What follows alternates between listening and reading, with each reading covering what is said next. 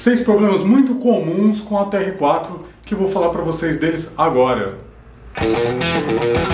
Fala seus dois, sejam bem-vindos ao meu canal, o Desert of Dreams, aqui é o Raul falando e hoje eu vou contar para vocês os seis problemas muito comuns que acontecem com qualquer TR4.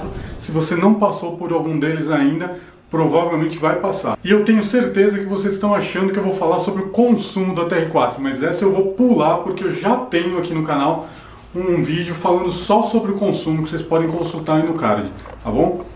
Então vamos ao primeiro dos problemas que a sua TR4 pode apresentar. Muita gente reclama disso porque usa pouco o 4x4, lógico, usa o carro na cidade, não usa regularmente em off-road, o 4x4 é subutilizado. E aí quando vai utilizar a alavanca do 4x4, engata o 4x4 e depois não consegue mais voltar. A alavanca fica travada.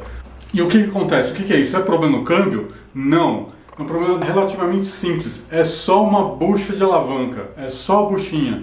Até mesmo você, se tiver um pouquinho de jeito aí de mecânica, é só desmontar ali a alavanca, comprar uma bucha nova, trocar uma bucha redondinha, trocar uma pela outra e pronto já acabou. Por que, que isso acontece? Porque essa bucha ela é feita de um material plástico, né? E ela resseca com o tempo e acaba quebrando. E quando quebra você não consegue mais trocar, você consegue colocar em 4x4 é, tracionado, só que não consegue voltar depois, ela fica dura e aí se você ficar forçando é capaz de você quebrar a alavanca, né? o câmbio não, mas a alavanca provavelmente você vai entortar ou quebrar, tá bom?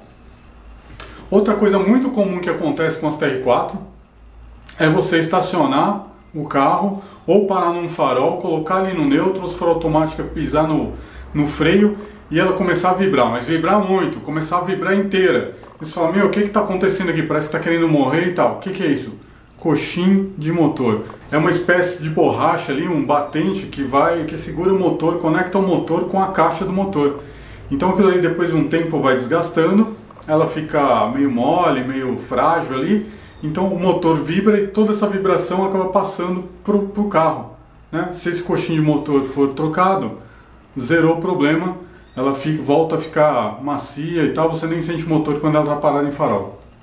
Outra coisa muito comum em TR4 que a gente até brinca que é o efeito Gretchen. Porque a TR4 ali quando alcança 80 km ali, 90 km por hora, a traseira pode começar a balançar demais, o carro começa a ficar meio instável, começa a, a, ficar meio fora de si ali, né? A bundinha começa a balançar e você fala, meu, o que, que é isso? Isso são as buchas da suspensão traseira, especialmente as buchas do tirante traseiro, geralmente dá esse efeito Gretchen que a gente chama do rebolation aí.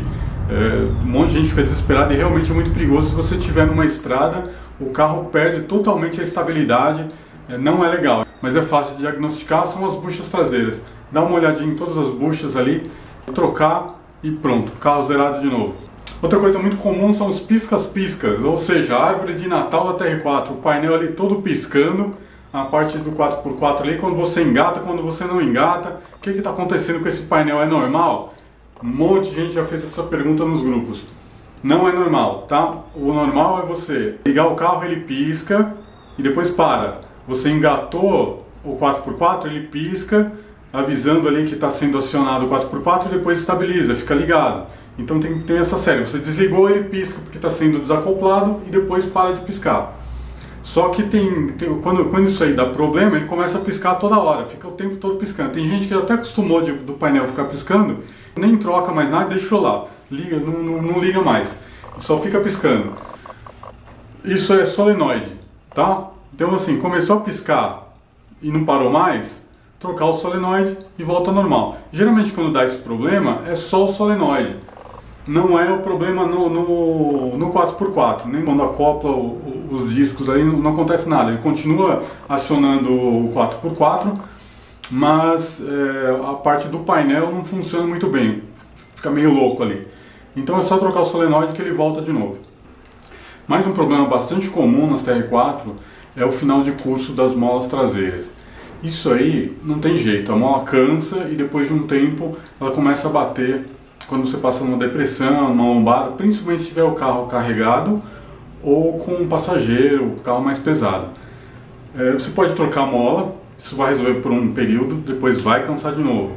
Alguns membros dos grupos e tal e eu já fiz isso também, é, troca uma mola por uma mola da blindada ou reforçada para GNV. Também resolve por um tempo, mas é só por um certo período. Depois você vai ter o mesmo problema. Isso, infelizmente, é um dos, dos problemas crônicos da TR4.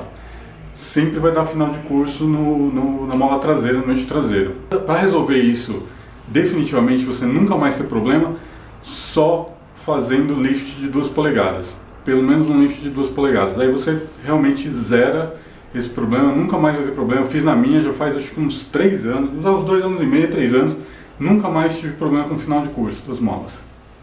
E o último problema comum, esse eu caí nele, é fácil de identificar, mas só acontece nas TR4 automáticas. A TR4 automática ela tem três marchas e uma quarta que a gente chama de overdrive. Né? Esse overdrive ele tem um botão no câmbio, embaixo do, do, do, acionamento do câmbio, ele tem um botãozinho que você liga e desliga. Você tem que deixar ele sempre ligado. Ele estando sempre ligado, quando você chegar na terceira marcha e o carro pedir uma marcha superior, ele troca automaticamente para a quarta marcha. O que é comum de acontecer? Você está numa situação comum na cidade e de repente vai pegar uma rodovia. Pegou a rodovia, você alcançou ali 60 por hora, 70 por hora, 80 por hora e nada da TR4 mudar de marcha. Começa o RPM lá para cima, passar dos 3 mil, 4 mil e você não passa dos 100 por hora né, e esgoelando o motor ali. O que está acontecendo? O botãozinho de overdrive ali está com um mau contato. É só isso, é só um mau contato. Se você ligar e desligar ele, você dá uma mexidinha nele ali com o dedo, ele já troca a marcha, já troca para a quarta marcha. O certo que, que é? É desmontar aquilo ali, dar uma lubrificada ali, dar uma desengripada com, com WD, 40, alguma coisa, tirar qualquer resquício que tiver ali, desinabre ou mau contato, montar de novo que ele vai funcionar bonitinho. É fato, se você pegar a estrada ou pegar uma velocidade um pouquinho maior e você perceber que o carro não troca para a última marcha, botão de overdrive. Bom, esses são os problemas mais comuns que eu me lembrei que acontecem na TR4. Se você souber de mais algum, deixa aí nos comentários. Se você tiver alguma dúvida também sobre a TR4, pode deixar aí nos comentários que estou sempre respondendo sempre que possível.